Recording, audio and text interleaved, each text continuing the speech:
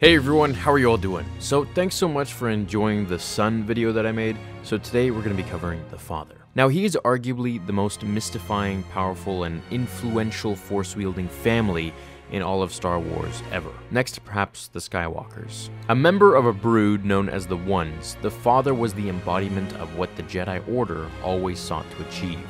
He was the very essence and representation of being that has and somehow is the balance in the Force. With a long flowing beard, smooth gray skin, the father casted an ancient, weathered look. He had two children, the daughter, who was the pure embodiment of the light side of the Force, and the son, the very essence of the dark side. To try and keep his children's immense power in check, the father brought them to a planet that existed, not in the regular space of the temporal realm, but instead on a different spiritual plane within the galaxy. The planet was sought to be the origin point of the Force itself, and was known as Mortis. There, the father used his power to act as a stabilizing influence on his children, keeping their powers in balance for eons. The daughter remained faithful to him, but the son craved nothing more than to usurp the father and take his place. Whether Mortis was the genesis planet for the Force or not, it did act as a conduit for all things in the universe, connected to the mysterious energy field that binds the galaxy together. However, even though they made their home on a different plane of existence, the Ones remained informed of the events unfolding in the galaxy at large, and eventually, during the Clone Wars, news of the appearance of the prophesied Chosen One reached the Father. Intrigued by this development, he used an ancient Jedi distress code to lure Anakin Skywalker, the Chosen One, his Padawan learner, Ahsoka Tano, and fellow Jedi and best friend, Obi-Wan Kenobi, to the planet Mortis. The daughter brought Anakin Skywalker before the father at his monastery, where he welcomed the young Jedi. But then after grappling with the son, Skywalker confronted the father believing him and his kids to be Sith. The father explained otherwise. He related the history of his family and how each of them represents an aspect of the Force. Anakin and his friends were free to leave after the father had given Anakin a test to determine if he indeed was the chosen one. For the test, the son and daughter had transformed themselves into animal forms and kidnapped both Ahsoka and Obi-Wan. Anakin was given a choice of who to save, either his apprentice or his best friend and former master. But refusing to sacrifice any of them, Anakin instead used Mortis's force amplifying properties to compel the siblings to release both of his friends, and with his power, made the Force wielders revert back to their humanoid forms. He had passed the test, and the father was now convinced that Anakin was indeed the chosen one. So, he asked the young Jedi to take his place and act as the new balance between his two children. Anakin, though conflicted, declined the offer, as he reasoned that he couldn't abandon his Jedi comrades in the middle of a war. The father warned Anakin that if he made the selfish choice and decided to leave Mortis, he would place the galaxy entirely in danger, but not for the first nor for the last time. Anakin would make the selfish choice and be determined to return to the galaxy with his friends. But before Anakin and the others could leave, the son kidnapped Ahsoka to keep the Jedi on Mortis. He wanted to use their ship to escape the planet and join the galaxy at large, spreading the dark side wherever he went. The father confronted the son, pleading with him to renounce the dark side once and for all. This only angered the son further, as you guys learned in the previous video that I made about the son and so he blasted the father with force lightning, knocking him out. When he regained consciousness, the father discovered that the daughter had let the Jedi retrieve a mystical weapon called the Dagger of Mortis, which was the only object in the entire galaxy that could kill an immortal member of the Ones. The Jedi and the daughter had united to try to stop the Son, but he had used his considerable powers to turn Anakin's Padawan, Ahsoka, to the dark side. So now Master was fighting Apprentice. The father immediately tried to put a stop to the fighting, but in his weakened state, he was no longer a match for the son's power. During their struggle, the son seized the mortis dagger and swung a killing blow at the father, but just before he could strike, the daughter jumped between them,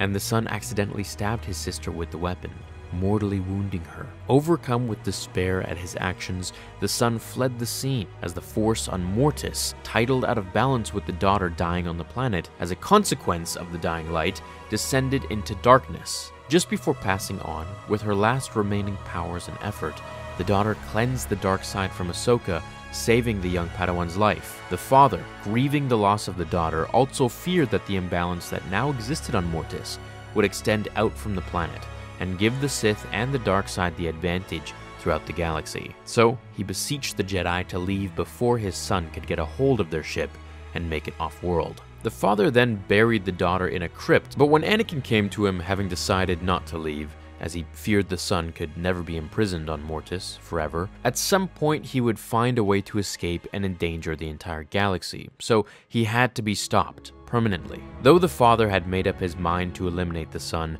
he didn't want Anakin's help. He was fearful that the son would be able to use Anakin's incredible power to tilt the balance of the Force and bring the havoc that had befallen Mortis into the galaxy. And those fears proved correct, as soon after, just as the father had feared, the son was able to seduce Anakin to the dark side, and so the ancient patriarch decided to confront the Chosen One outside the Jedi starship, before he and the son could use it to leave Mortis. Anakin, having glimpsed his future life as Darth Vader due to the son's meddling, told the father that he feared the suffering he would bring to the galaxy, and he believed he had no choice but to embrace the dark side in order to avert the terrible future before him. To release Anakin of the son's dark side influence, the father used his powers to erase the Jedi's memory of his dark destiny, freeing him from the son's hold. Anakin, Ahsoka, Obi-Wan, and the father then together went to oppose the son, but the dark side's power had grown so powerful on Mortis with the absence of the daughter, and so, even united, they could not match the son's power anymore. So, Seeing that the only way to stop the son was to remove his immortality, the father took the Mortis dagger and stabbed himself as a sacrifice. For without the father, the son was no longer immortal. Seeing his father dying before him, the son was shaken by remorse, and the two of them then made peace, just before Anakin Skywalker impaled the son with his lightsaber. Before he passed on, the father told Anakin that with all of the ones now dead, Anakin had brought balance to Mortis, and one day, as Anakin was the chosen one, he would restore balance to the Force in the wider galaxy too. However, he should beware of his own inner self, lest he bring doom to the galaxy. And with that, the father's body vanished, as did Mortis, while Anakin and the others found themselves transported back to the physical realm in their starship. During the time of the Galactic Empire, long after Anakin had fallen to the dark side and became Darth Vader, as the son had revealed in the vision Anakin saw, a rebel Jedi apprentice named Ezra Bridger discovered a painting within a temple dig site, which depicted the father, the son, and the daughter.